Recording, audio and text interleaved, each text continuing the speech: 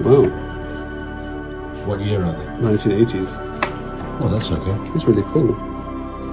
These are Krugerrands. So they're from South Africa. Wow. So my grandfather was from Zambia, and he put one for each of the grandkids back in the day. Yeah, I've only said there was no vault. Are they all 1980? I think so. I've never seen This an one's got no year on it. Padding like that. So there's three. Three Krugerrands. yeah, and it says there's four. Where'd the fourth one then? Oh, I wonder. Oh, here.